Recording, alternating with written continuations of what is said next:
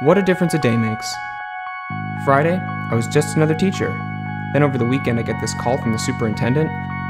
Finally, I've been promoted to vice principal. Today's the first day at my new school, and it's gonna be great. I'm gonna be great. Here's a copy of the grievance letter for the incident that occurred on an unfounded accusation of incompetence. I was thinking more along the lines of teachers and administrators. What? You will ensure you're delivering a consistent message with your entire body. And that includes those eyebrows. Okay. Forget it. Malo. I'm gonna find somebody else. Okay. What kind of idiot adds to the agenda last minute? I mean, besides, I'm a librarian. What would I know about literacy?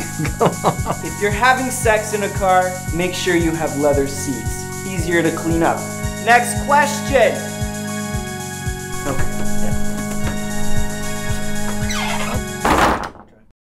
Maybe this is going to be tougher than I expected.